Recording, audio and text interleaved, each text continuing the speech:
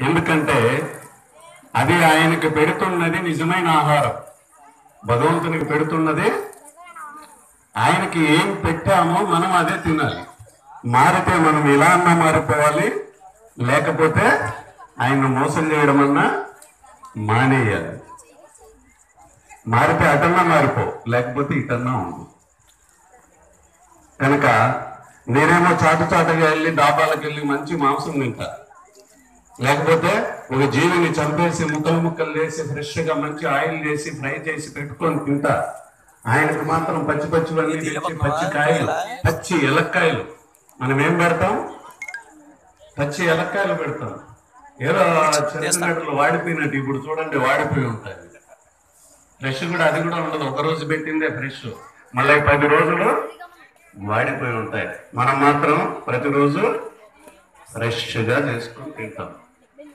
భగవంతుణ్ణి మోసం చేసేనా లేదా నేను అందుకనే నేను ఎలా మోసం చేస్తున్నానో తెలుసుకున్నా. ఆ మోసం చేయకూడదనని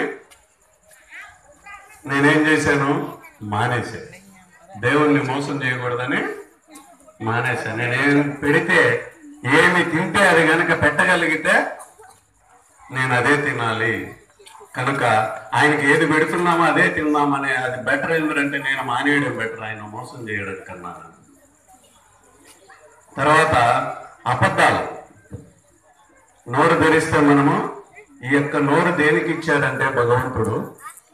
భగవన్నామం చెప్పాలి తల్లిదండ్రుల గురించి చెప్పాలి గురువుల గురించి మంచి వాక్యాలు మాట్లాడాలి.